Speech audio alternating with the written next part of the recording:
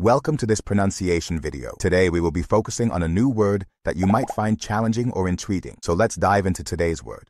Rige, which means Rige lacks a direct definition in standard English dictionaries.